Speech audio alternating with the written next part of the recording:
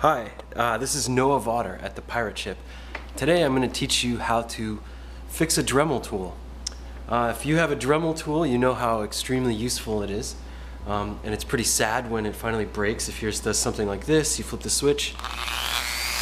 And even though you hear the motor spinning, the shaft isn't turning.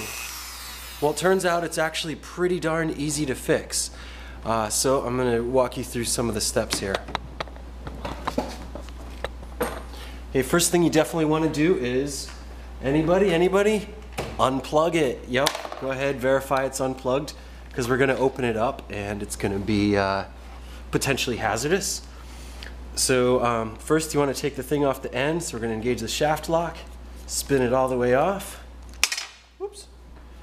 Put that aside where it won't roll away. Uh, now this top part here, this actually just screws right off too, that plastic bit. And now there are six screws that you have to do, uh, undo. They're, they use this star-shaped Torx driver here, so make sure you go out and get a Torx driver. You won't be able to use a, uh, a, uh, a flathead or a Phillips head screwdriver.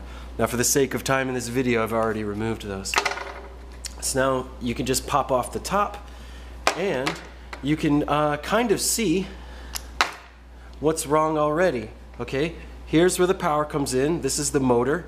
That's the little cooling fan, and this is a drive shaft, right? This is the other half where the tool goes. Notice how they both have these ridges on there.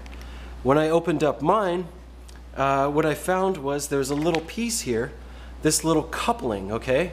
This is just a piece of rubber, and if you look close, you can see this one's in pretty bad shape. It's chewed through, it's yellow, it's cracked, the teeth are messed up, etc., etc. Well, normally this goes here to connect the motor with the drive shaft. And you might be wondering, why just have the motor connected directly, why not just have the motor connected directly to the drive shaft? Well, this piece of coupling actually gives you some protection. Say you're drilling something that's too rough, you know, you're trying to drill some steel or maybe you're drilling something soft. Uh, what, you, what this does is it, it acts like a, a fuse. It's the part that wears out first. Uh, so it actually protects the motor from overheating and fire and, and wearing out by wearing out this little shaft coupler instead. And the good news is it seems like the Dremel company is actually the kind of company that wants you to keep fixing and using their products. They don't want you to buy the competitors, et cetera, et etc., etc., etc.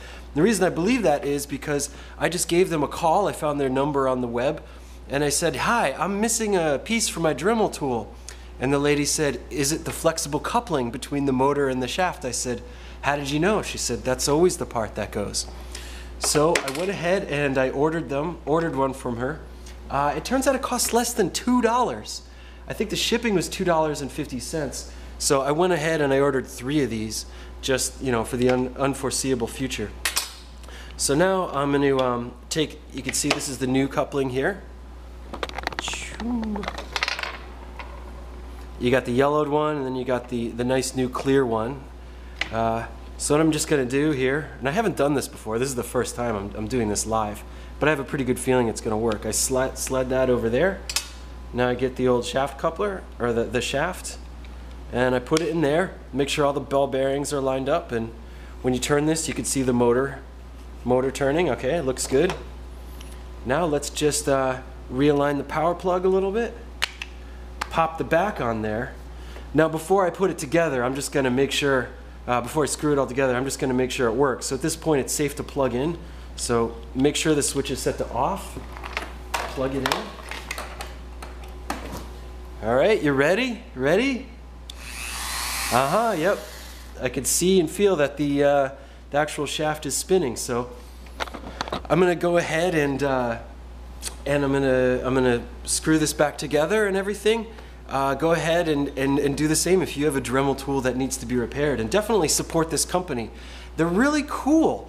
I mean, I, when I ordered this, this, uh, this shaft coupler, not only did they send me uh, you know, some marketing material, but they also sent like a little survey here. You can see it's pre-stamped, and they even sent me a pen to fill it out. I think that's really cool. So support them uh, for because they support the DIY movement.